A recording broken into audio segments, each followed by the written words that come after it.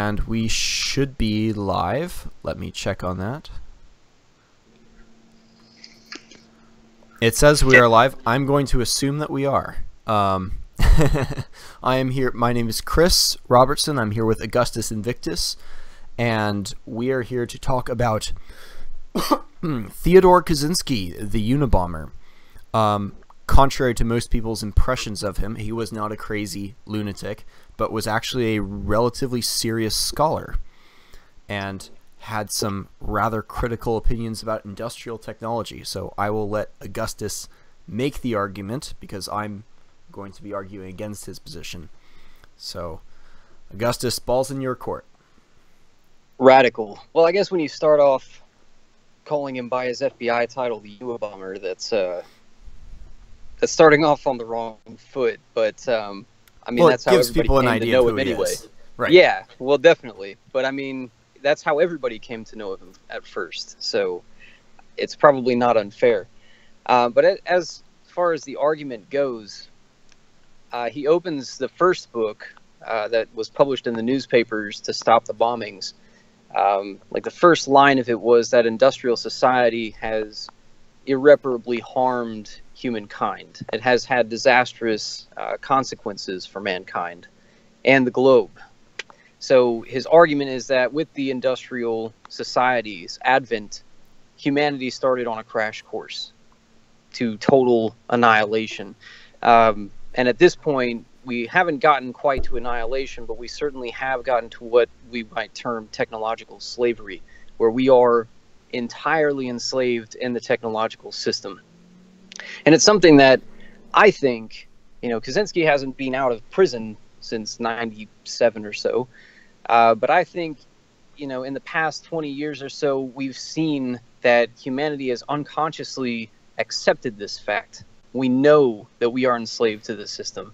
Like you see movies coming out of Hollywood left and right about, you know, the Terminator this and Skynet that and, you know, I, Robot and all these different dystopian futures where humanity is asleep at the wheel and handing over, um, you know, the keys to AI or to machines in general.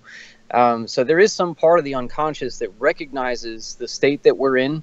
But if you talk to people about the dangers of something like artificial intelligence, which, you know, the Trump administration just came out with this whole uh, task force to promote artificial intelligence, uh, people just laugh. It's like talking about UFOs. You know, you talk about artificial intelligence and you're the insane person uh, because you think there might be a danger to it.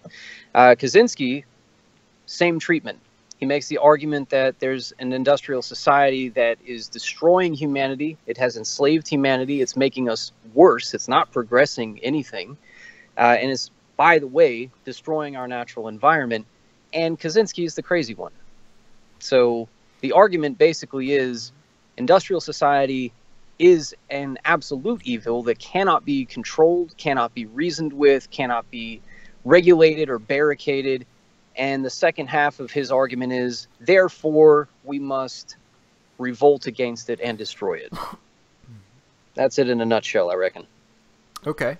And uh, just for some backstory, what what got you interested in Kaczynski, and what was what was the most persuasive argument for you about his position? Since we're doing this kind of informally.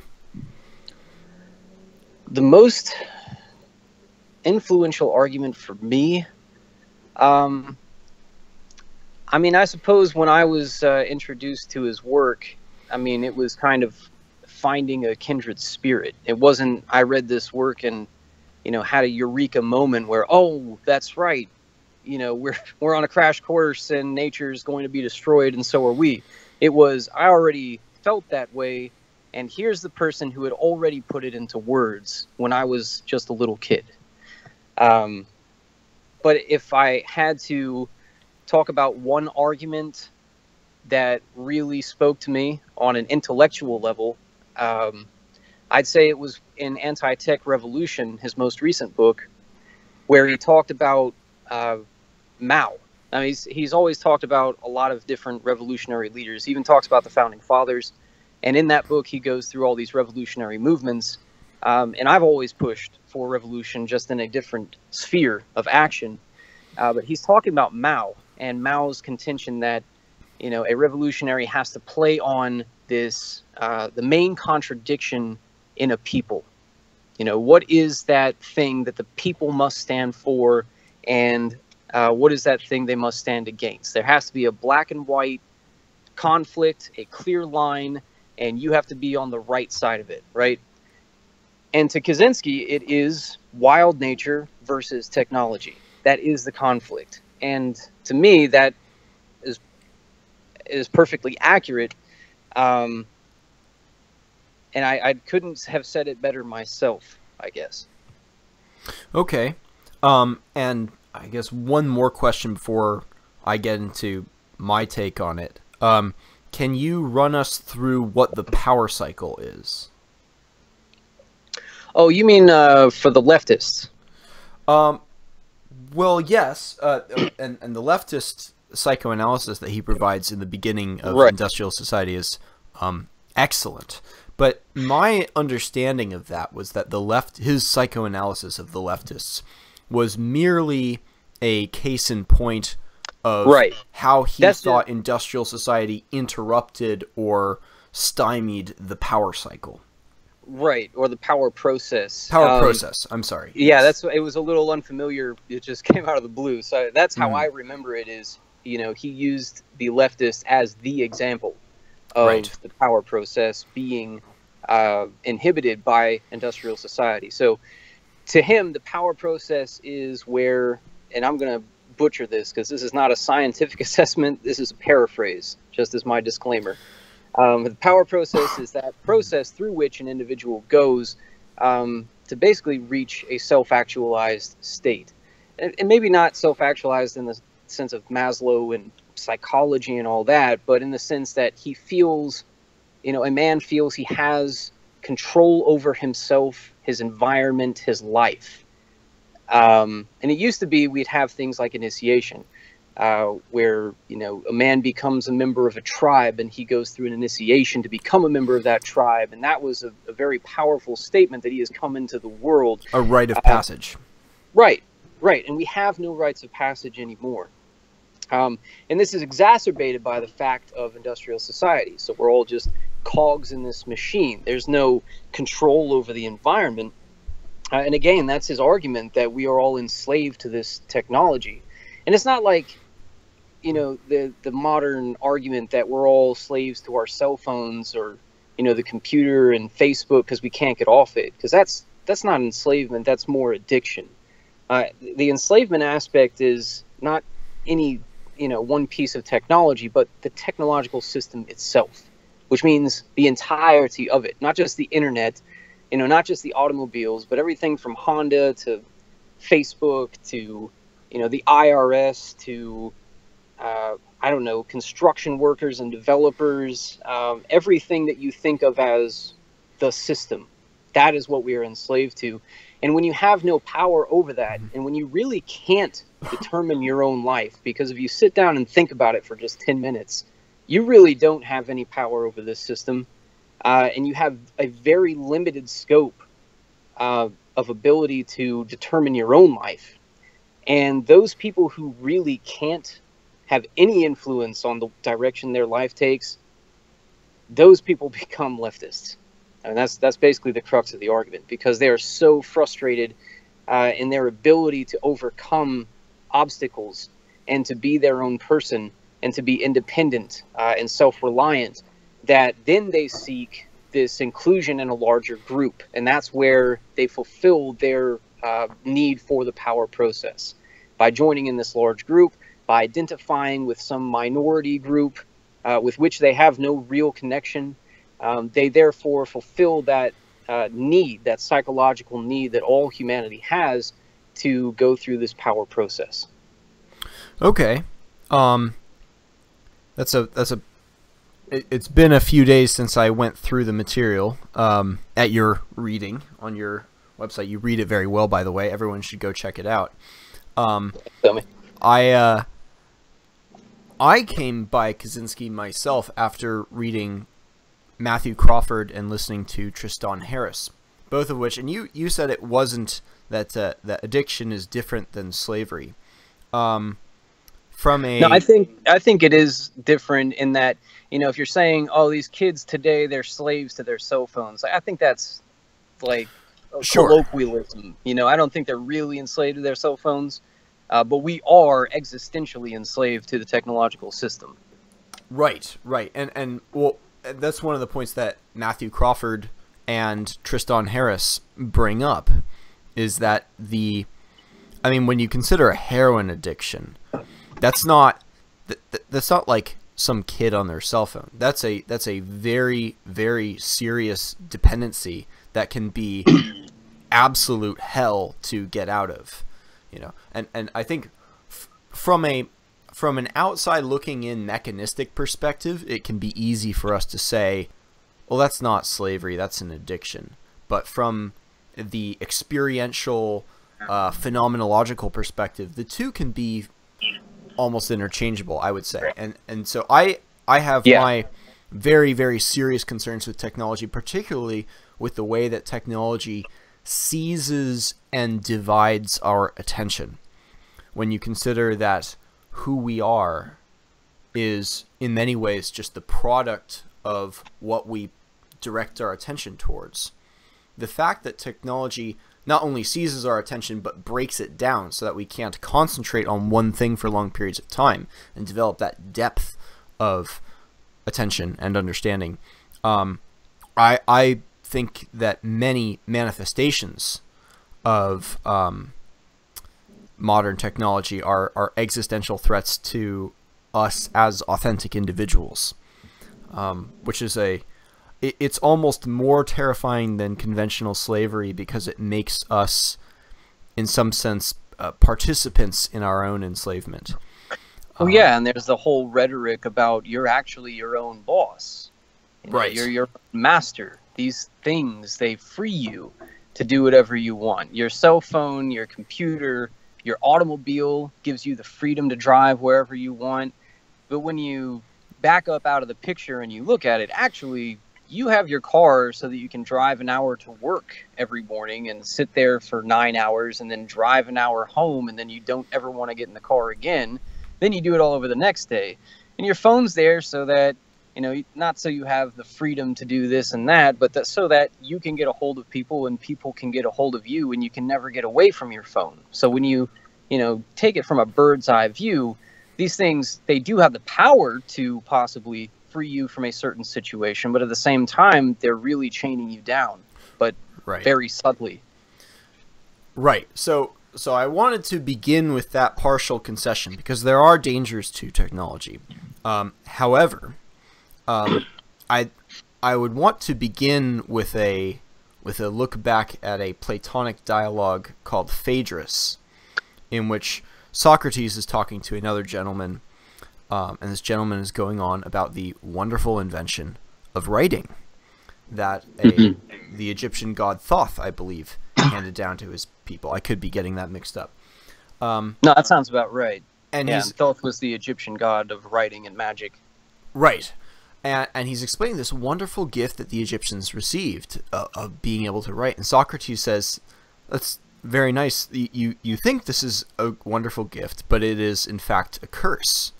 Writing, um, in embodying your memory in this on, on the paper, you actually lose the ability to remember things yourself and you become dependent upon the writing and people will and because the Greeks thought and not without reason that memory was an important part of thinking that losing one's memory because you're writing things down will not only make people forgetful but also stupid now Well, I'd actually I'd agree with him on Mhm. that. I know, I know that sounds a little insane, but um, I think that's true. Well, it's it's Like, not you- insane, but but there is a there is a clear. It, it's a it's a trade off that we're being offered because there is a cost in memory to writing, but at the same time it opens us up to the writings of other people whose thoughts we would not have thought otherwise. I can read Aquinas and Augustine and Plato himself, and Aristotle, and um, I can I can read the Bible and the Book of the Law and all sorts of other thoughts from from authors, the smartest authors in all the world. That's true. And given but how I mean, society that, again, progressed, that's that's a trade-off, though. Again, because right. the, the you know the trade-off is, do you really want to know all these things? I mean, there's a lot of things that have nothing to do with our local cultures that are influencing us because, oh, this person in, I don't know, China wrote this thing, you know, a thousand years ago, and let's try to apply that to our business practices. Um, in ancient times, you had no opportunity to do that because the local academics, um, they knew everything about the history. You know, there there are tribes in Africa where they have a sage who knows the family history of everybody in the tribe back a thousand years. Um, but there are also more modern studies done, uh, not just Socrates, but um, say Frances Yates, which I know it's ironic to quote a book about this, but uh, Frances Yates sure. uh, wrote The Art of Memory, and she goes into all of these just astounding feats of memory where people would create, you know, the, the mind palaces of Sherlock Holmes, um, where they would, you know, make Cicero. these total like amphitheaters in their minds and, you know, catalog things and be able to access them, things that we have no idea how to do today. They're not taught in schools, not taught in universities. There's no group of sages or professors who have any idea how to do these things. But they are in uh, books. It's gone. Yeah, they're in books oh. for us to marvel at the ancient wonders, you know, like the pyramids of Egypt. Mm-hmm. We have no idea how to reconstruct these things. Um, so you're right. There is a trade off where, you know, I can read Aristotle and I love Aristotle. Um, but at the same time, my memory is shit compared to Aristotle. Yeah. Uh, and, and, I don't know if that's a good thing. Yeah, I, I think that um, we can we can look at an old analog to gauge whether it's a good thing in an objective sense or not by looking at our ancestors about 40 42 to 46,000 years ago. Our major competitors, the Neanderthals, were probably smarter than us, were stronger than us. There is some evidence that indicates that they were better tool makers than us. They were more resistant to the cold than us, and they were more resistant to attacks than us. The one advantage we had was we had a slightly sharper shaped larynx that allowed us to create a broader variety of sounds. That broader variety of sounds allowed us to have a more elaborate and precise language by which we could communicate and organize with each other. Now, in the technical sense, language is a technology. And perhaps, one could argue, the fact that we relied upon this language and social organization and dependence on others was what allowed us to become weaker and maybe not quite as intelligent as the Neanderthals. But ultimately, right. we wiped them out. Well, I think this might be the point to bring up that you know, Kaczynski is not saying that, and neither am I, that all technology is across the board evil. Um, his point is that there's a difference between, and this is a more subtle point most people mm. don't see in his writings, but he says there's a difference between large scale uh, technologies and small scale technologies. So if you're talking about small scale, uh, like the making of spears and knives, um, the the ability to build houses, um, to to you know put a yoke on an ox and plow your fields, like those things. People are going to make those up tribally. They're going to make them up all over the world, you know, except Africa, but that's another discussion. But in large scale technologies, those things collapse with a civilization. So when Rome collapsed, nobody was making aqueducts anymore. They just completely lost that technology on how to build these massive buildings these massive infrastructure projects. It was just gone, and it had to be hmm. rediscovered hundreds of years later. So if you know the industrial society collapsed right now, no one would have any idea how to you know make cars from scratch like you have to have factories for that for factories you have to have electricity all these things are interdependent upon one another so if the large scale industrial society collapses we go back to small scale technology and that would you know that would include granted, um, writing Uh, it would include, you know, weapons making, um, and possibly automobiles if people were really that determined to make them from scratch. Right. But um, for the most part, you know, the, the society itself and the infrastructure we have, it would completely collapse, you know, Fight Club style. Well, the the reason that I brought up writing as my first counterexample was that Socrates' critique of writing was essentially the same in its substance as Kaczynski's critique of industrial uh, technology. Now, I think there are some gray zones as to what qualifies as industrial. Uh, is the loom or the printing press industrial, for example? You could make a strong case that I think in either direction.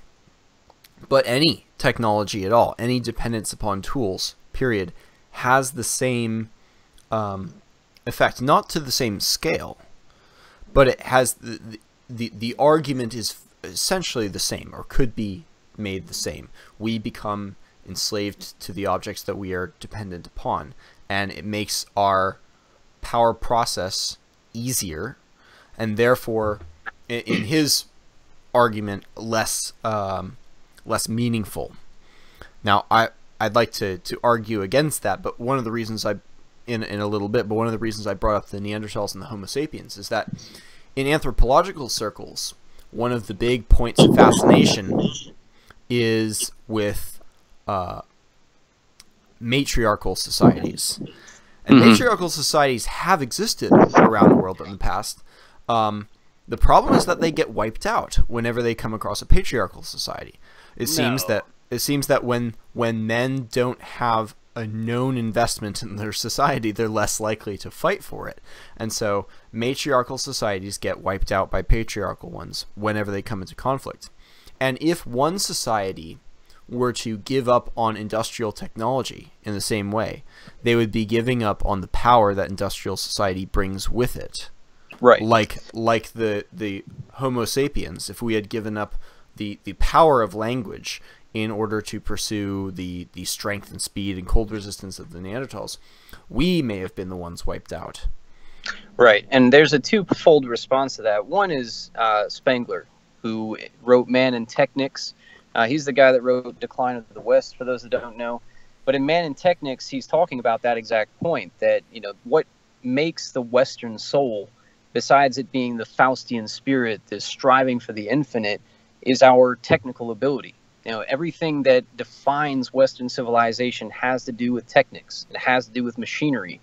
But at this point, we've gotten to a point where it's you know the machine has surpassed its creator you know like frankenstein or something um, and the second fold point to that is kaczynski uh, who you know his argument is not we as americans should disarm you know like the the anti-nuke people who think we should disarm our nukes and all of a sudden we're going to have world peace he says in his book uh, anti-tech revolution that obviously, you know, one country is not just going to destroy its own technological foundation. Like that would be suicide.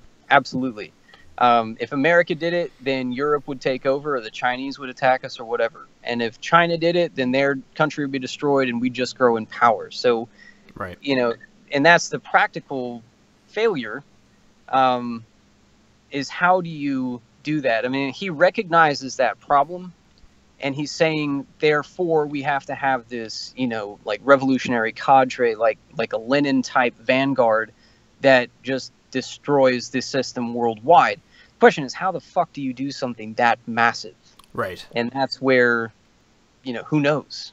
Who knows? hmm I, and I don't think Kaczynski pretends to know either. Yeah. Well, well, specifically dealing with the Western dominance of technology, I was chatting with a, a friend of mine about Chinese history, and we were going over the question of, of how did why did China not have a warrior aristocracy? They had it, an aristocracy, but it was a bureaucratic aristocracy. If you were a Mhm. magistrate, if you were a scribe, that was the position of power. So they had soldiers, but they were kind of looked down on in the way that serfs were looked down on in in mid-century Europe. So what what happened there? And it, it by my friend's uh, hypothesis, the very early invention of the crossbow rendered ordinary people so power powerful in combat that the warrior aristocracy had no place anymore. And it was Mhm. it was arguably for this reason that the Catholic Church banned the crossbow in much of Europe by the time that Europe got around to inventing the thing too.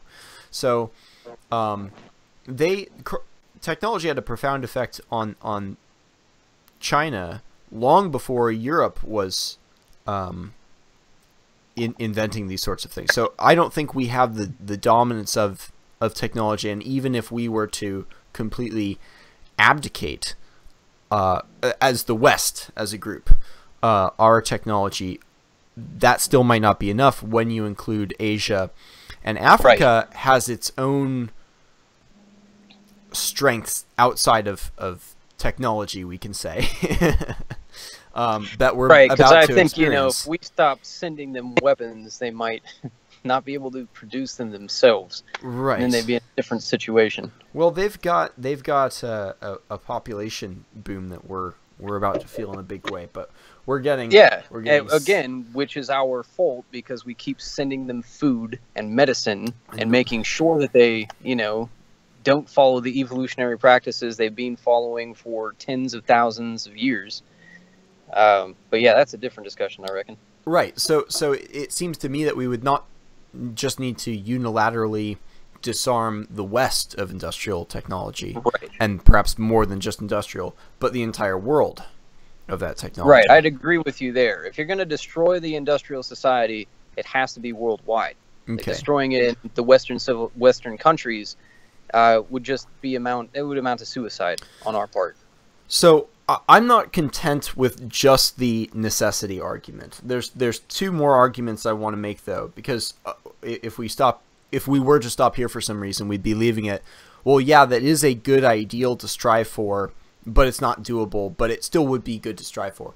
I actually think, while while completely granting the dangers that technol many of the dangers that technology can pose, um, there's a couple points that I think he misses out on, which is the, and the first being pre-industrial people. There's a point that he makes that pre-industrial people were more psychologically well-adjusted and, and happy than post-industrial people. And he says, now you may think that the fact that we're living longer and healthier lives means we'd be more um, psychologically well-adjusted, but you'd be Mhm. wrong. Those two things don't necessarily correlate together, and he's right. However, when you go back and read the old texts, when you read Job, for example, or the Iliad, or the Epic of Gilgamesh, you come across people who are so profoundly struck by the by the power of nature that they sometimes ascribed to the gods, um, sometimes to just to nature itself. There and and the the sadness they fear uh, feel. I mean, when you read Job, it's like this is a guy who who rent his clothes and ripped his hair, covered himself in ash, and sat in silence for three days. That's that's a when you think about what it would take to. Sorry, go ahead. Oh no, I didn't say. I was listening. Okay, when when you think about what it would take to to cause you to feel that degree of despair and sadness, I mean, people in modern society do experience that that uh, no doubt about it. But this is a centerpiece in in ancient uh, stories. It's not like the ancient people were unfamiliar with with not just suffering, but with with the, the psychological damage that suffering caused. There's one extraordinarily interesting and, in my opinion, underrated psychologist named um, Julian Jaynes. He wrote a book called Origins of Consciousness in the Breakdown of the Bicameral Mind. And the, he he's a neuroscientist of sorts, and there's a, a parts of your brain called Broca's area and Wernicke's area that have to do with language processing. And there are uh, parallel parts of the brain in the other hemisphere that we don't necessarily know what they do, but we know that they communicate with each other. And based on his analysis of literature and his understanding of neurology, he's convinced that the other part of our brain, across from Broca's and Wernicke's area, is responsible for producing interior dialogue. When we talk to ourselves, that's what's going on. Except in ancient times, you keep hearing these people, they'll generate their own thoughts, but they will ascribe them to gods. And what his hypothesis is is that the the fact that the corpus callosum, which is the the connections between the right and the left hemisphere, maybe those weren't developed, and so their own interior monologues sounded external to themselves. So they were running around hearing voices coming from inside their own head, but they sounded like voices of angels, gods, deities, other people's dead friends, so on and so forth. What would cause such a thing? was a weird world full of schizophrenic zombies running around hearing voices. His part of the hypothesis is that, uh, and we see this a little bit, we see a regression to this in people with severe PTSD. Exposure to so much suffering, so much tragedy, so much pain in the old world that the corpus callosum didn't develop in the way that it does in modern people. And this was pretty normal cross site. This is sort of speculative neurology but it matches what most people uh, read out of ancient historical texts. The the amount of the amount of suffering and the psychological maladjustments um, that we experienced as a result of that seems to indicate that we've become more psychologically well adjusted over time. Now, I think that might be overstating it because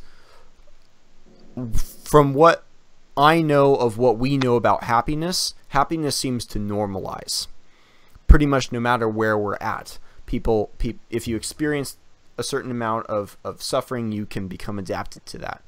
Um, so I don't think we've become.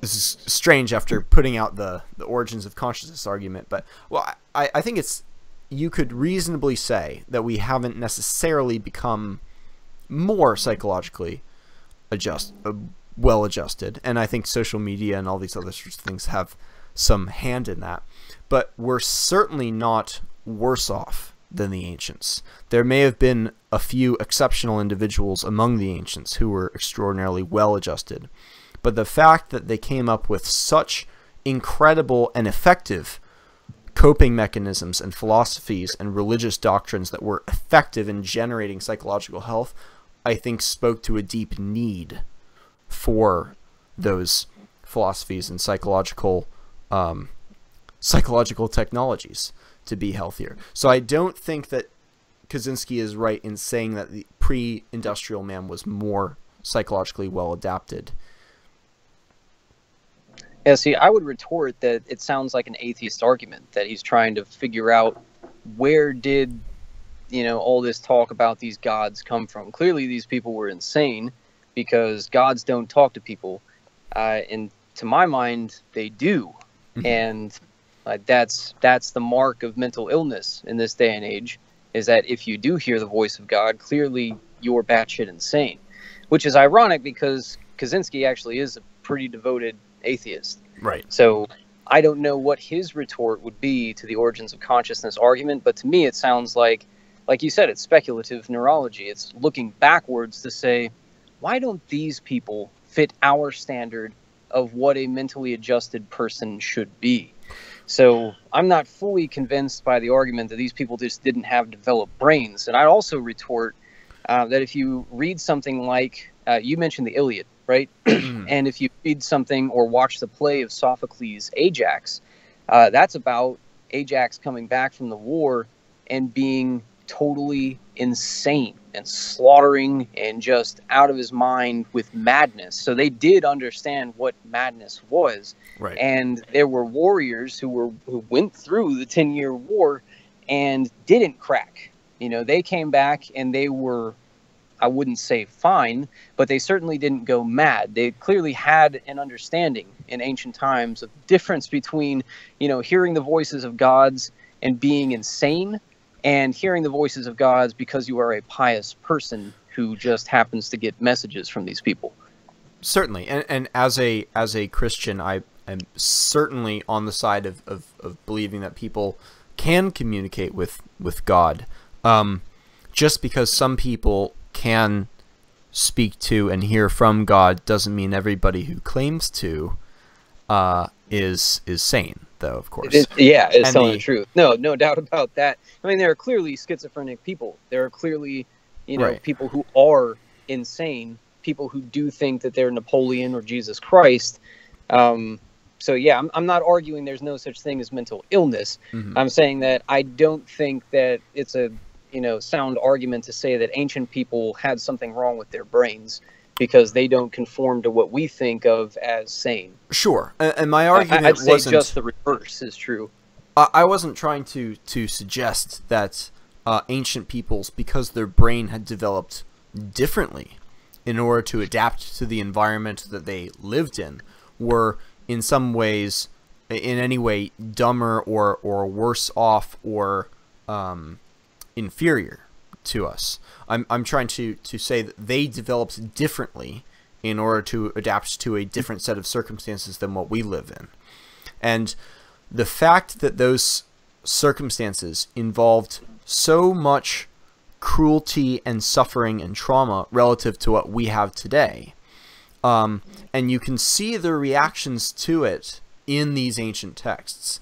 Um, Gilgamesh was crying for days over the death of Enkidu, for example. Right. Um, and of course, we, both know Achilles' reaction to um, to Patroclus dying. But I think the, the perhaps the saddest scene in that whole story is when when Hector is speaking with Andromache, and Andromache, you, you know, the background with Hector's wife is that all seven of her brothers and her father were killed by Achilles, and now her husband is going out to fight this guy as well. And it's just like there's it's hard to even fathom. I mean, before your husband even goes to fight this guy, that's already an immense amount of loss and suffering and a feeling of instability about the, the world. Um, and again, I'm not trying to say that, that these people were necessarily psychologically less well adjusted than us. I think their brains developed differently in order to normalize their experience of happiness. But the experience of stress and trauma and despair and hopelessness are as old as the species. And I Yeah. think it's I think to say that it's we've reached a new height of this because of industrialized technology.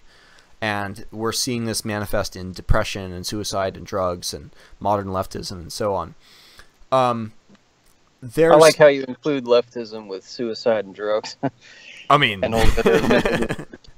No, Yeah. and I think there's a, a one of the big differences between what you're describing in the Iliad, or even you know that was happening in the Middle Ages, uh, and something today, is just basically meaning, you know, and the meaningfulness of death and tragedy and suffering. So you know when uh, uh, her whole family had been slaughtered, and then Hector is killed too, and then dragged around in the chariot. Um, all eight of them died because they were defending Troy. It wasn't a surprise. Um, they knew what they were doing. That was a man's duty. They fulfilled that duty, and in those times, um, that was the best death you could possibly have was on the battlefield. Mhm. Whereas, you know, somebody who's 60 years old has lost all his or her family to car wreck, boating accident, cancer, uh, you know, whatever other random stupid ways to die. Uh, it's the same thing, but totally without meaning, absolutely devoid of meaning. So the entire world seems like this grand fucking circus act. There is no God. There is, you know, no order in this universe. So I think, you know, from my perspective, that makes it infinitely worse. I would rather lose all my family when my cities burn to the ground because at least I know what they died for than, you know, my wife and all our kids die in a fucking, I don't know, gas explosion. Like it just seems like a, a different magnitude of order to lose your family to the absurd ways we all die today, as opposed to at least you'd got to stand a fighting chance back then. Well, I mean, that may have been true of Hector. I mean, most of the people who died in ancient times, so far as we can tell, died extraordinarily painful deaths of their teeth and of disease and of accidents, drowning at sea, being waylaid by animals or, or bandits, so on and so forth. And there are certainly glorious deaths. I would I would say that there are glorious deaths in modern time too. I I think of the the astronauts that came down in that ball of flame a few years back. A, a terrible way to go, but when you think about it, But also glorious. also one hell of a way to go. You know, Absolutely. um, could it's it's up there with exploding helicopters in ideal ways to to die. Um, and I, I think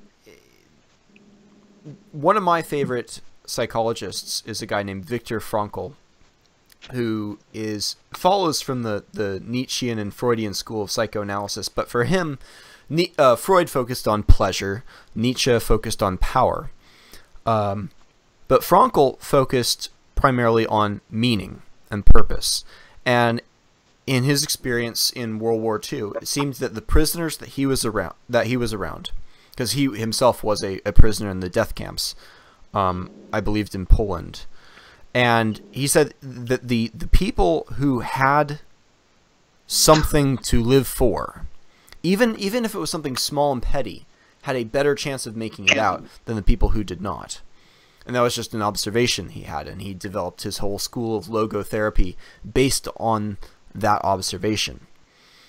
And and so this is a very um, it's a it's a true point I think, but it's not one that industrial technology necessarily uh, diminishes and can even in some cases improve. Um, this is a point that Matthew Crawford brings up, but I want to give you a chance to throw in a word or two before I just go on another monologue.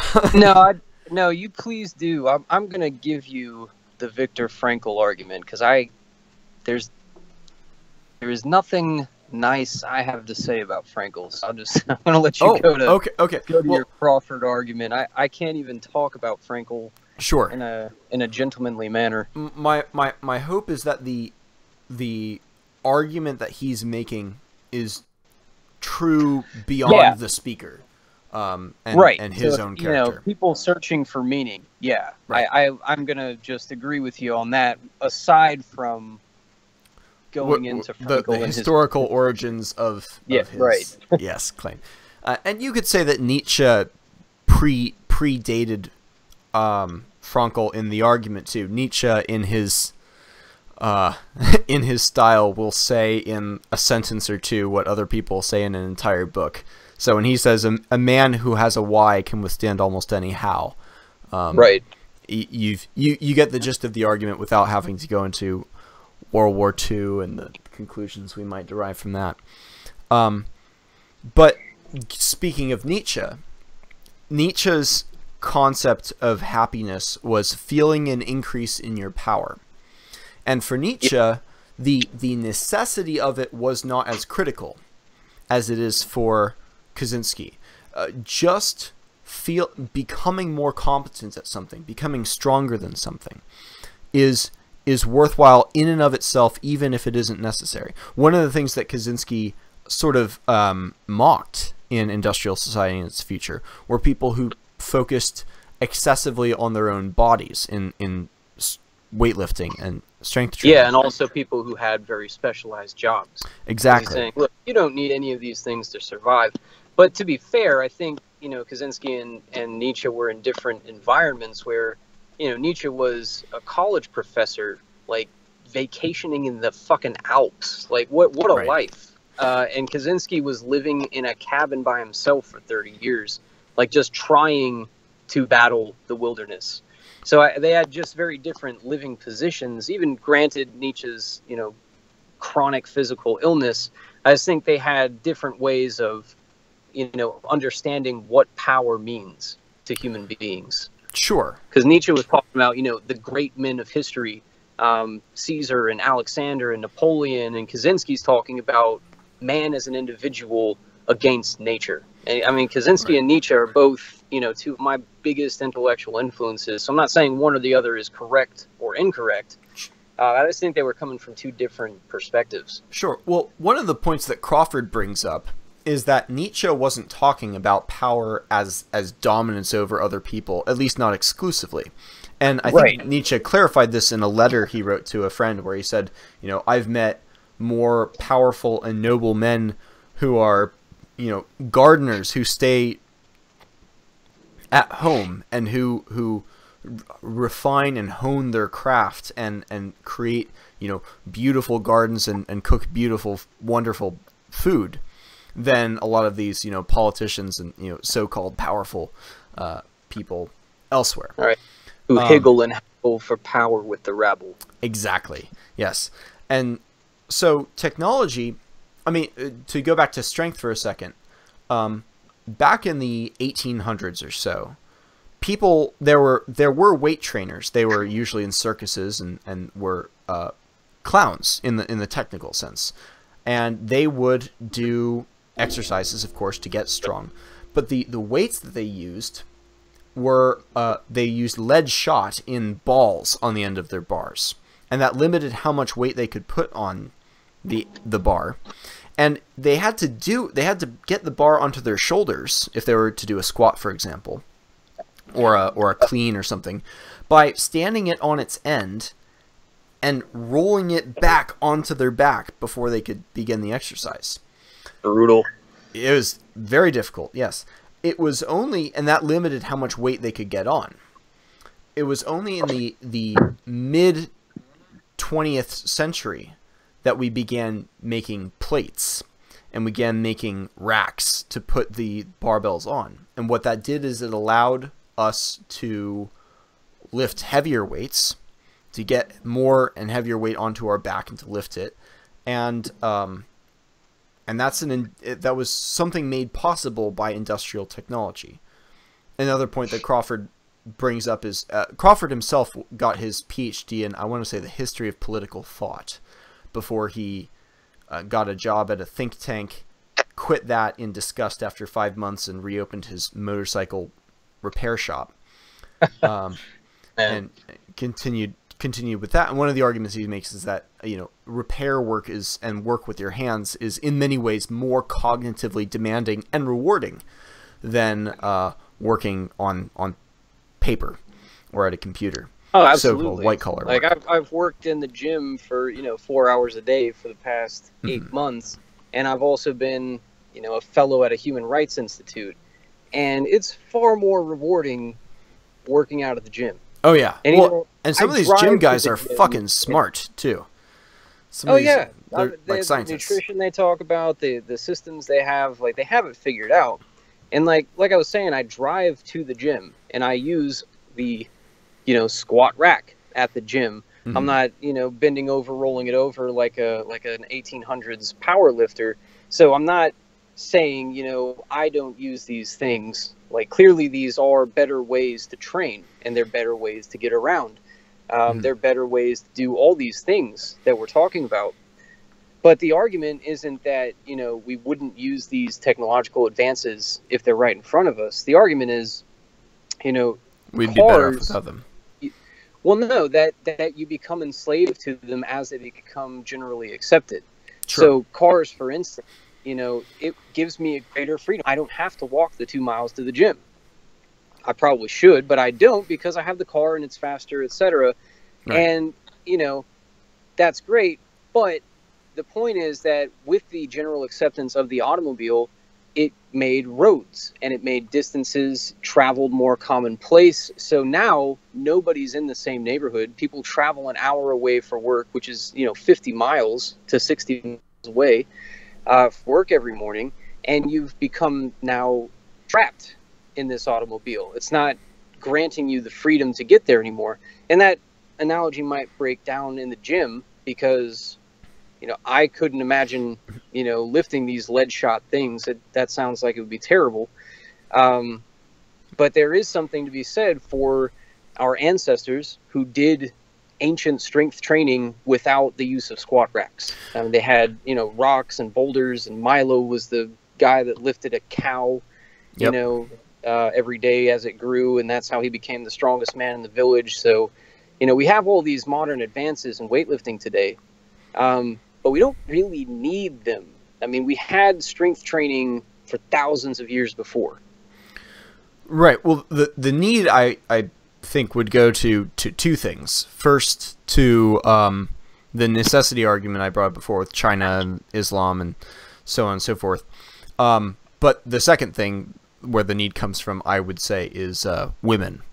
Um, women like civilization, I think, more than men do, and uh, we Hundred percent. we uh, we do these things for our, for our ladies so that they will love us and be content in the in the houses that we built. Oh yeah, it's difficult to convince your wife to move with the kids out to the wilderness because I Right. want to be a man. right. You're gonna say, all right, well, you go be a man. I'm gonna move in with Roger, who's gonna Mhm. be my new husband. He's an investment banker with a nice apartment. Exactly. So, um, but the the greater point of Crawford is that in becoming a motorcycle technician, the the industrial technology that is the motorcycle, or um, the violin, you could say, or the pipe organ, provide us means of developing competence as well.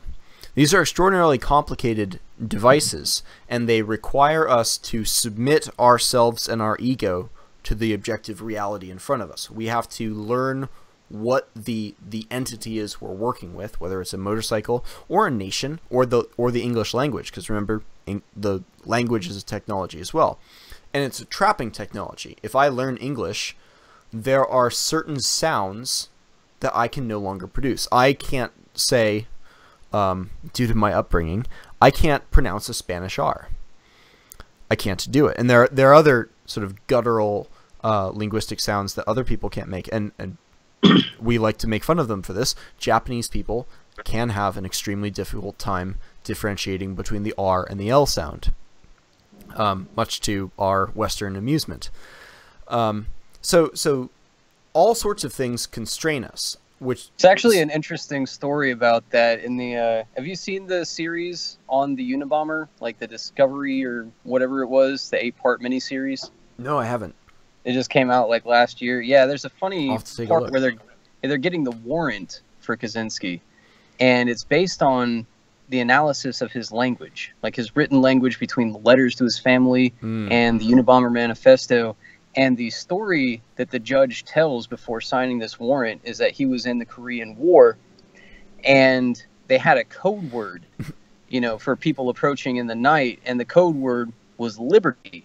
And when the approaching, you know, the approaching soldiers were asked for the code word, they said "Riberpree," and so they knew they were not American, and they slaughtered them all. That's so that, great. that was actually how he justified signing this warrant. I I mean, I'm sure Right. that's just made up for the show, but Yeah. it's a it's a true um, sentiment there. Yeah, and and the the point of that, I mean, you could you could make it even more basic and say that our our human body constrains us, contrary to uh, whatever gender fluid people we have out there. We can't uh, we can't fly with the bodies that we have. We need we need airplanes to do that.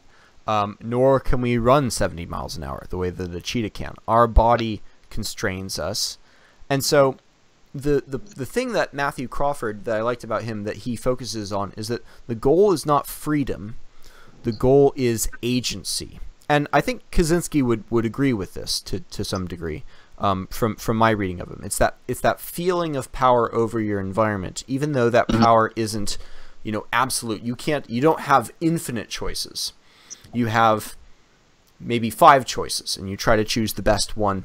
And these choices are um, offered to us by the by our environment basically. If i'm playing a violin there's only four strings i can play on and there's only so many finger positions i can use on each string.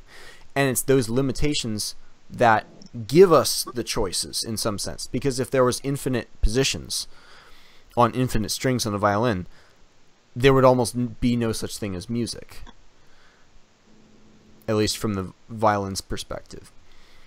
So, so the technology that we are dealing with, the industrial technology, cars, computers, give us not just um, they do give us all sorts of constraints, but within those constraints, and because of those constraints, they give us the opportunity to develop competence as well, whether it's repairing the car or networking your parents' uh, Wi-Fi. you know, they can sometimes have a hard time with that. Yeah, sure. I And- mean, there's so yeah, there's no argument here that you have different opportunities to become competent. And, you know, I mean, take jet mechanics, you know, something that the ancients had no concern of. Um, there's certainly plenty of room for people to improve and, you know, become more intelligent, etc. Uh, but you you could make the same argument about things past. I mean, the memory games, for instance, that we had Mhm. talked about earlier, or playing the flute, uh, or horsemanship. Nobody rides horses anymore. Right. Um, you know, shipbuilding, like the Vikings. We don't do that anymore. Now we build massive, you know, metal uh, battleships. Um, so there there are differences certainly, but I, I don't think that you need you know large scale technology systems uh, in order to become a competent person or to gain power over your environment uh, or anything like that. certainly no no argument there. The, the the the argument is not we need this technology in order to develop competence. It's that the technology doesn't inhibit us from developing competence and participating in the power process. And well, in certain areas, perhaps not, but in certain areas, it does, because there are you know different things like uh, automobiles, for instance, the the Mhm. motorcycle, right? So Right. this guy, he's uh, I, what book is this, by the way? Um, he's got two books. They're both exceptional. The first one is called Shop Class as Soulcraft, and the second one is called um, The World Beyond Your Head. I actually wrote a review of it on Countercurrents last month, I believe. I'll check that out. All right, so this guy is a a motorcycle repairman, right? Mhm. So he's spending this time working on his motorcycle, um, and certainly he's not inhibited from learning something else. But the time spent on that means he is not learning how to ride a horse. It's an opportunity care for a cost. Uh, exactly right. It's a trade-off. So you know you're not being inhibited from learning these ancient practices. Just like Mhm. you know uh, you and I are writers. Uh, we're not inhibited from learning the art of memory, uh, according to the ancients. But you know, in pure practical terms, we just we can't. There's just you don't have the time to do that and be a writer. It's impossible. Um, and and all the other trade-offs in the world are the same way. Like having a cell phone, it's not inhibiting you from I don't learning how to sail or mountain climbing. Um, but if you spend all your time on social media, you're not going to be sailing or mountain climbing. Oh, Like, it's absolutely. just- yeah, it's just a trade-off. It's not inhibiting you uh, per se, but in practical terms, you're you inhib- inhibition doesn't mean anything because it's already gone. Well, I mean, the Kaczynski's argument is that this technology, the industrial technology, prevents us ultimately in the long run from going through the power cycle. Oh, I see. Power I see process. what you're saying. Okay. Yeah. Well, I would. I think that might be a misunderstanding of the argument because I don't think he would say, uh, you know, that motorcycles uh, or or weightlifting equipment, you know, any of these specific pieces of technology would prevent you from fulfilling the power process. Mhm. I think what he's saying is the system itself, like the whole thing put together, um, that does. So, you know, having a car gives you the freedom to go to the grocery store faster. Yes. But having a car and a job that's across town and kids that are in two different schools on other sides of town, uh, that's the system itself. And that is what has you enslaved. So I, I yeah, I I think you you got to draw the distinction between, you know, individual pieces of equipment, uh, even those that might be produced by industrial society, and the society as a whole, which is what is actual enemy is. Well, that that's sort of the argument that Heidegger makes about industrial technology as well. He he thought that the end game of industrial technology would be that um, it would turn everything into potential energy waiting to be used by something else. It would turn everything into just the trees into lumber waiting to be Mhm. used in a house, and that this would eventually include humans as well. We would all be human resources waiting to be used. eh, on- Sounds on something prophetic. Um, I think the thing that he missed, though, and and call me a little bit arrogant for for going toe to toe with a mind like Heidegger, or Kaczynski for that matter. Um, but this end scenario seems to never arrive. It's like the the um, the left behind uh, a- apocalypse where everyone gets pulled up. It's like it's gonna happen in 1996. Nope. Uh, it's gonna be 2002. Nope. It's gonna be the the end. The end point never seems to arrive. Socrates could have thought like we'd all be absolutely stupid by the year you know 1500 BC. That didn't work out. Um, I'm sorry, I'm, I'm getting Homer and Socrates mixed up in the age, but you get the you get the point.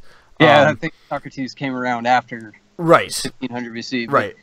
Yeah, Socrates I see what you're saying, but And- it seems to me like the frog in the frying pan, where you just you Mhm. keep turning it up slowly, and eventually he's gonna cook. Well, well, let me tell you why I think that end time will never come, and and why it's it's not quite uh,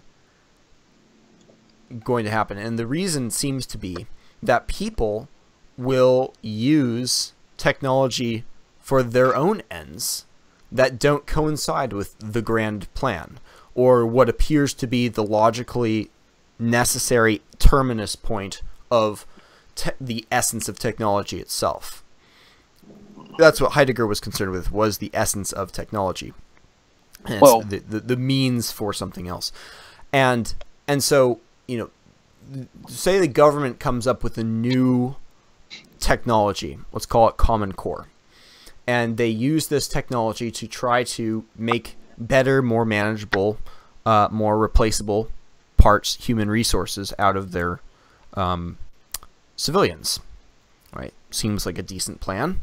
Um, except, wouldn't you know it, all these pesky people out there are using the very information in Common Core as a tool against Common Core. People like Dr. Duke Pesta or Stefan Molyneux or uh, any number of other people. We can use technology for our own ends against the the utopian dream that is being imposed upon us. And we do this consistently. We do this with language. Satire is infuriating to the powers that be because they have a, such a hard time controlling it. Yeah, but Um, I'd stay with the the electronic situation right there that you were on because Mm-hmm. if you know we'll the government. Bitcoin or Yeah. Ethereum. Well, I would consider PayPal, Airbnb, hmm uh, Facebook, Google, YouTube, Twitter. Uh, who else? Stripe, uh, Expedia. Yep. All They're- of those are companies that terminated our accounts at the Revolutionary Conservative and Mhm. everybody associated with our company after Charlottesville. Yep. Just wiped everything, annihilated funding. Um, absolutely nothing we could do. And it wasn't the government. Government didn't have to lift a finger. And there was there's no fighting back, you know. Well, Uh, I, and I wouldn't I wouldn't say that the the government is the one central power, and that's another point that that Crawford makes is that he he sympathizes with libertarians in many ways, but disagrees with the the old school libertarian idea that the government is the one true source of of all evil and misuse of power. He's like, ah, Yeah, corporations and corporations and marketing organizations and things like that can do this too right. particularly on our attention and so on but we can use we can use and they will win victories and we will win victories and it, it, it seems looking back across history like there's always this tension um but the the government never seems or the or the the powers that be we can say technology itself never seems quite able to to dominate the human spirit. We always find some way of twist twisting it back on itself. Maybe we'll create an app um, that controls the rest of technology. I have an app that I, I used to use on my old laptop for writing. It was called Freedom, incidentally. You had to pay for it, unfortunately, but you would you would pull up the browser, you'd put in a time, say an hour, and it would disconnect your internet for an hour and you would have no ability to get it back until that hour had passed. You couldn't restart the computer and, and get it going again. No, you had to wait a full hour. And by manually choosing to, to use this tool, first of all, buying it makes you feel like you need to use it now too. So just the act of paying money is, is helpful in that regard. And then it's much easier to type in 60 enter than it is to actually stay off the internet for an hour. So we can use technology against this this technology as well, and we always yeah. I think that. that's that's playing right into the enslavement argument because mm-hmm. now you're not even your own master of your own agency, making this decision to just end it with your own willpower. You've now given that function over to an app that does it for you. So now you don't have to use willpower to stop it. So Mhm. I think that that in itself proves the enslavement argument. Just like a, a slave on a plantation, um, you know, you convince him that he and no, my family was not slave owners, SPLC. When you're listening to this, but a master would say to his his slave, you know, I'm going to let you choose which suit you're going to you you're going to wear, you know, when we go to Charleston this Right. weekend, um, like like you do with a child. Like, hey, buddy, uh, which one of these shirts do you want to wear? It gives the illusion that they have a choice in the matter. They're going to wear one of the fucking shirts. Right. You know, not not up to them. They are, you know, he's a child. He doesn't get to choose. Yeah. Same thing's happening to us. Uh, we are children. We don't get to choose, you know, uh, whether to use social media. We only get to choose whether we prefer Instagram or Twitter. Well, this brings us back to the whole agency versus freedom argument. Freedom means like I, I have as many choices as I want. Agency is like I have a, a constrained number of choices, but those I can still pursue. It's not even my interests exactly, but it's it's expanding this the the competence and power that I have over my own life, and the util the, the tools that we use have less to do with it because we already use tools. And, and this is uh one of the points that I, I, forgive me for keep coming back to this guy but but Crawford talks about with um, what's known as embodied cognition. When we write for example sorry Socrates um, we are using the paper as an extension of our memory that's what the abacus did when it came to counting it allowed people to store larger numbers on not on their head but on the abacus so that they didn't have to keep it in their head. Um, the spear, as I think I talked about in, in Defense of Hatred, it becomes an extension of the soldier carrying it to the degree that he's familiar with it. And our uh, growing up from being a newborn infant, actually, this begins in the womb, actually. Um, but as you mature into a two year old and a three year old and become more tactilely skillful, uh, we're not born with absolute control over our limbs. It's something that we develop over time. So what we consider, what we consider, I, or me to be, um, becomes a a serious uh, question and a challenge. But I don't think that using technology to battle pernicious kinds of technology means that uh, we're giving up something of ourselves we are we are in some sense extending ourselves out across the the field before us and using what's before us to do what we want to do and to better ourselves. Yeah, but I think I'd I'd have to disagree because it seems like it's a moot point if you didn't have that problem in the first place.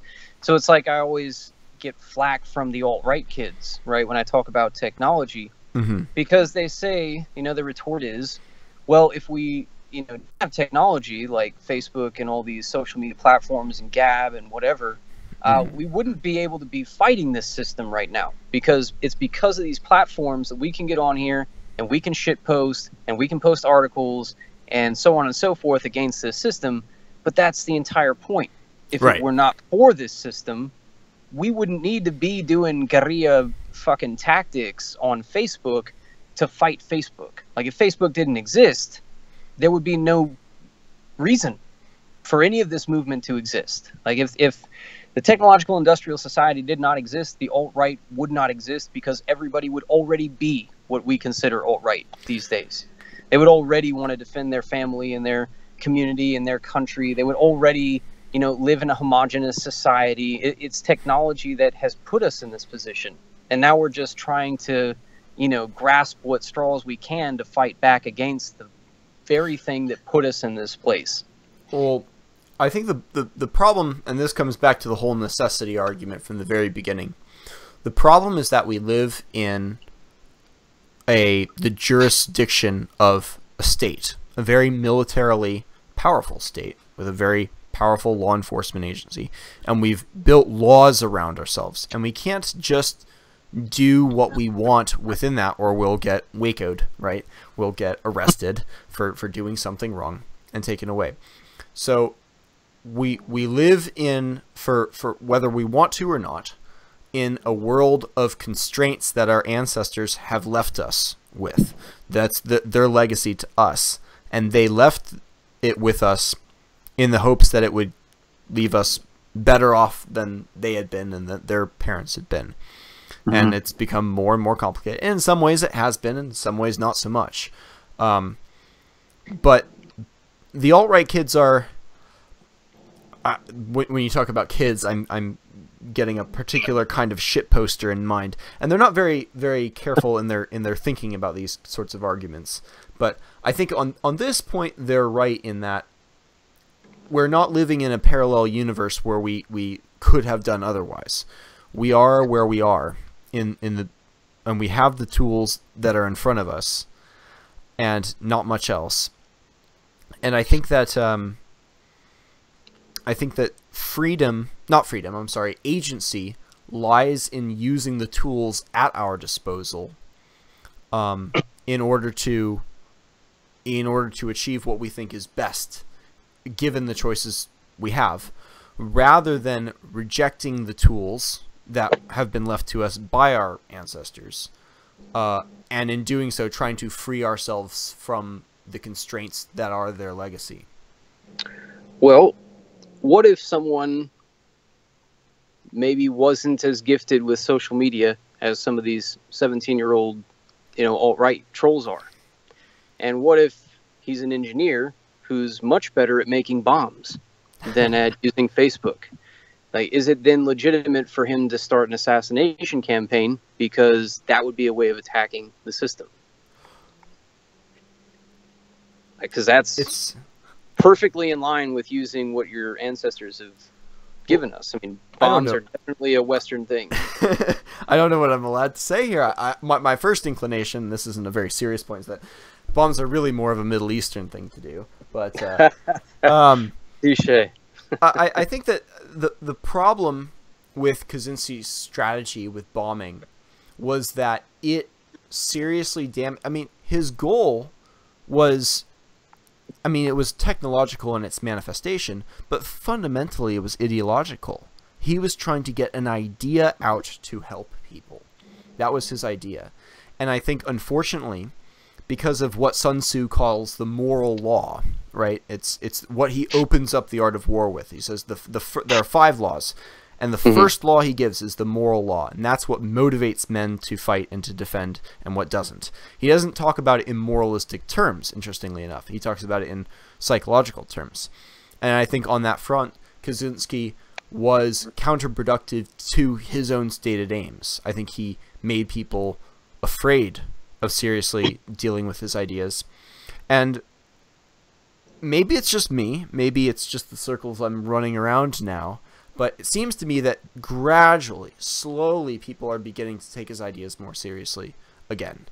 Um, or at least to try to deal with them for the first time in, you know, 10, 15 years or so. But he could have sped up that process quite a bit if he hadn't been running around uh, bombing people. Well, I don't know, man, because, you know, how many of those people who have read Kaczynski have read Jacques Ellul and his book, Technological Society, which is what Kaczynski's ideas were based on. Nobody's ever heard of that guy. Nobody's ever read of that book because he enough. didn't have a 20 year bombing campaign. Mm-hmm. Kaczynski did. And so that dramatic example did it. And yes, it brought a lot of backlash on him and on his ideas, and they were, you know, verboten for a long time. Um, but people say the same thing about Tim McVeigh, right? Blew up the federal building, those poor children in daycare. Like he knew there was a daycare center there blew up the federal building. It caused a massive black backlash by the Clinton administration on the Patriot movement. So, you know, all the right wingers say, well, Tim McVeigh really fucked us on this one, you know, by doing the exact thing that Patriots were talking about for decades. He actually went and did it, like a mhm. violent act against the federal government, and everyone blames him for the backlash. Same thing that happened to us in Charlottesville. You know, everybody's shitting on the alt right and the right wing for doing Unite the Right because, well, look what you guys did now. Now everybody hates the alt right. It's destroyed. Now they've torn down all our southern monuments, and it's all your guys' fault. But if you don't fucking do something, like and you know take action against the system, like of course there's going to be backlash. But if you keep doing nothing, like it's just going to keep avalanching all over you. Well, I certainly won't argue that there's never a time for violence. Right. I think I think only moral fools and people who haven't thought things through would make that point. There's absolutely a time for revolution and violent action, um, if you want. Um, as a, as an example of that, Vox Day over at his blog has variously been memeing about Saint Breivik. Pray for us. Now, one of the things that people don't don't know about Anders Breivik is that he wasn't just attacking a, and I'm not trying to say this to defend or attack Anders Breivik. I'm just stating Vox Day's opinion here. Um, it, Breivik didn't just attack some random group of, of migrants or immigrants. He wasn't even specifically targeting migrants. What he was targeting was a left wing Labor Party uh, youth leadership training camp. Mm-hmm. And supposedly, the Labor Party has yet to recover from that attack in terms of in terms of uh, raising up the next generation of political leaders within their group. Um, Vox Day says to expect a lot more of these. But my, my response to this whole thing about violence would be um, the, the Romans had this phrase, carpe diem. It doesn't mean seize the day, as a lot of people think it does. This is uh, from that uh, Robin Williams movie. Seize the day. It's this romantic thing. That's not Dead what it means. Dead Poet Society. Yes, Dead Poet Society. Otherwise. It was an excellent movie. Uh, it means something closer to pluck the day, and it it, it implies a deal of timing and patience, and it implies that that the, the the right moment is not necessarily the day, but to be aware of their the possibility of a right time and to be prepared for it so that you can seize the day when the time arrives. Um, when this is some one of the, the better things that I think Jordan Peterson has has said in, in taking down this this stupid modern Christian interpretation of the meek shall inherit the earth as some sort of like the pacifists will rule the world. That's not true. When you actually go back into the Greek, what the what the meek word meant was something like those who have swords and know how to use them, but but aren't quick to use them, are the ones mm. who inherit the earth. Perfectly willing and able, but but not that. That's not their first. Yeah, resort. I mean, you're talking about the guy who said, "If you don't have a sword, sell your cloak and buy one." Exactly. So not a pacifistic philosophy mm. at all. Yeah, uh, I think I think what turns people off, and and the the question that you're you're raising essentially is, is there such thing as bad publicity, or is all publicity good publicity? Um, beyond our excellent and wonderful friend Richard Spencer, I think history is replete with examples of people who who got plenty of publicity, but their publicity did not do good things for their ideologies, and those who were most effective seem to be the ones who patiently churn away for year after year after year, sometimes decades on end, and then one day, seemingly out of the blue, become 20 year overnight successes, I think is the phrase that Stefan Molyneux says. you know. Well, I'd say I, I don't think that publicity is really the issue when it comes to someone like Kaczynski or Breivik. I, I think it's a matter of targets. And I, this is probably skirting the line on what's allowed on YouTube. But, you know, when I first heard of what happened with Breivik, um, I was taking the bar exam. And uh, my first thought, like from the limited amount I knew, was what in God's name is this guy thinking? Of all the targets you could pick in all the world, you choose kids. Yeah. Like that is absolutely the number one thing you do not do is target children. Nobody has your back on that one. There is absolutely no one in the world who's going to think, bully, bully for you. Spot on, mate. That is awesome. Right. Like, everybody's gonna fucking hate you, even your own people. But then, know, all these years later, you, like you said, they still haven't recovered from that. And he, w- I mean, he was wiping out the next generation of communist leadership in his country. Actually, it makes a lot of sense intellectually, but politically, it was a terrible move. Just like Kaczynski. If you think about his targets to the FBI and everyone else, they seem totally random. But if you know his philosophy, actually, it's with mathematical precision and perfect logic. You know, he's targeting airline executives, uh, these professors who are pushing this nonsense, uh, the people that he feels are responsible for the expansion of technological industrial society. Logically, it makes sense. Politically, disastrous because common people just cannot grasp why someone would kill an innocent computer scientist, Mhm. you know, or an innocent uh, young young man who just wants to be politically active in his local, you know, Labor Party uh, youth group. Yeah.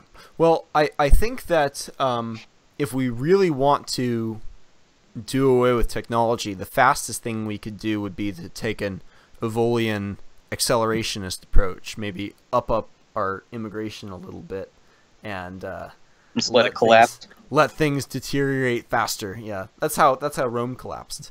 But things would get a lot uglier before they got pretty. Um, based on the necessity, I think I think those threats are worth repulsing for their own sake.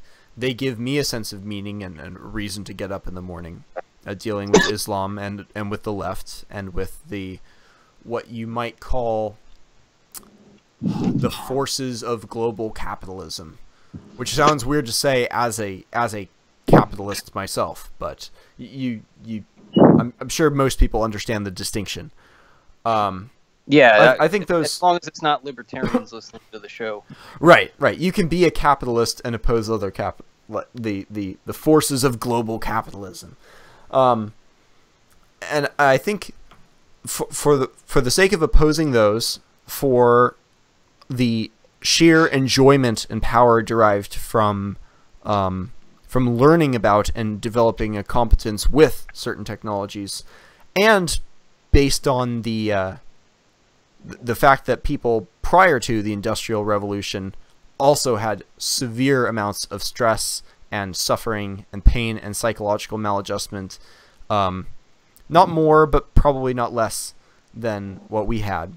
Um, I, I think that opposing industrial technology and, and certainly taking a revolutionary, violent approach to it is um, not just the, the wrong approach for a wrong goal, but is probably going to be counterproductive. Well, man, I guess different folks, different strokes. hmm Yeah, I mean, there's uh it's just like anything else. There's a point where you just have to make the decision for yourself. Is this something like is this the hill I want to die on? Um, is this actually necessary? And if it is necessary, how do you do it? Is it practical? Can it be done? Um, Well, I just don't. I don't know if there's a, a way to sell that to the masses, and I think that's Kaczynski's point: is that it has to be a vanguard of, you know, revolutionaries who are ready to die for it. I Um, suppose I suppose I I have to get going here and finish up, but I'll I'll close with one final question to you to see if we can maybe hit, if not common ground, then then leave the the listeners with an interesting perspective on this. Would you rather live in an industrial, and we can even say like post-industrial society, or would you rather live in an Islamic society? If it came down to it. I well, first of all, let me ask what I think I already know my answer, but what is uh what is a post-industrial society? By by post-industrial, I mean after it's collapsed, or or like after everything's fixed, or what are we talking about? I, I'm talking about. I'm sorry. That was that was a, a poor phrasing on my part. I'm, I'm thinking even more industrial than it is now, futuristic maybe even. Yeah, I mean, I'd, I'd rather I'd choose the, the more industrialized society because I'm not a fucking Muslim. Like it's yeah, I mean it's it's a it's a disease, you know, like the, the technology or the way it's turned out anyway. Um, it's a disease in the Western soul, in my mind. But it's still the West. Faustian Still, soul selling spirit. Yeah, right. yeah, exactly. Like it's a Faustian spirit on overdrive to a self-destructive purpose, but it's still like our culture. You know, it's it's Mhm. like, well, would you rather live in your family home that's been, you know, in your house for, you know, 10 generations? Or would you rather have these people from, I don't know, fucking Zimbabwe come and rent you an apartment down the street? Like, obviously, I'm going to stay in the family house that's been in my, you know, on my land for 10 generations, you know, decrepit or, you know, disastrous as it may be, because it's my home, it's my family, uh, and the West is my culture. So I'm still not convinced, but possible conclusion: Kaczynski was right, but the time is not quite yet. Well, I think he'd agree with you because he's another point he makes in anti-tech revolution. He talks about the trends of revolutions and how they come to be, um, saying that actually, you know, the, the example he used is the founding fathers who didn't really create anything new. They just accelerated a trend that was already on the way here in America. Uh, he gives several examples of that, but he's saying, you know, the technological society isn't going to just collapse on its own, and Hold it's on certainly not second, going to collapse. Yeah.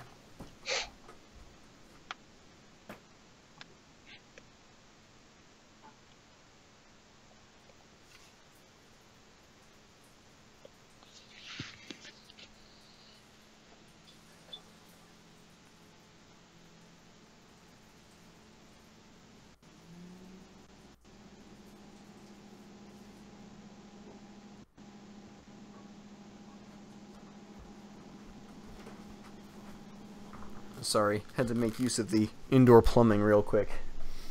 it's all good. Um, but yeah, I, I don't think he'd say you can just destroy technological society. It has to be something that it's already coming down, and this vanguard has to go in and, you know, help it on its way. So okay. I, I he'd agree with you that the time is just not now. Okay.